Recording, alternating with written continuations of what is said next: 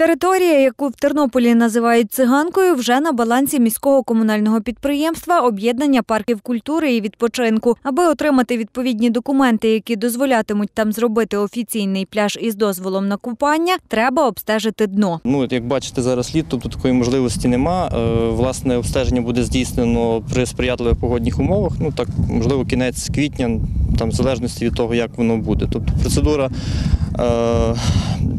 Ну, думаємо, що ми її закінчимо до початку купального сезону. Також планується, що тут буде обладнаний пост рятувальників, знову ж таки, згідно вимог керівних документів. Наразі в комунальному підприємстві опрацьовують всі наявні документи та креслення. Остаточний висновок щодо стану дна робитимуть спеціалісти. Цим має займатися е, сертифікована установа, тобто ну, на рівні Тернопільщини є рятувально-водолазна станція.